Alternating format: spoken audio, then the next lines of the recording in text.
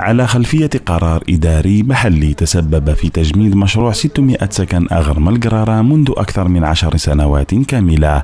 احتج اليوم المستفيدون من المشروع التساهمي استنكارا لهذه الوضعية خاصة وأنهم أودعوا فيه كل مدخراتهم وهم في ريعان شبابهم.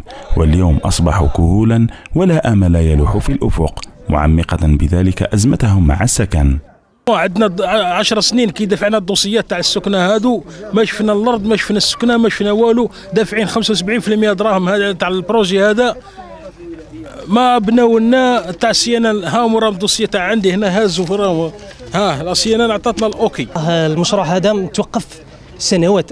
اولا شهد عراقيل كثيرة وكثيرة جدا. راه موقف اليوم من طرف السلطات الولائية بقرار تعسفي لأسباب مجهولة جدا.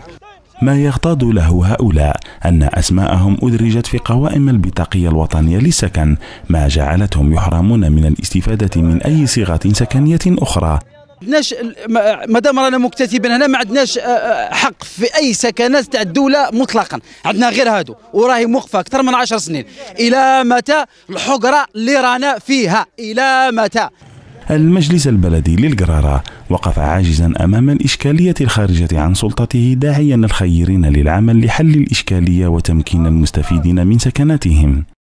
يعني وإحنا كبلدية ملي تنصبنا إلى غاية اليوم حاولنا بكل جرأة أننا نحلوا هذه الاشكاليات هذه العالقه بين يعني بين المتساكنين وبالفعل حققنا كثير من المشاكل حليناها. بقى لنا هذا المشكل مشكل عاوز شوية.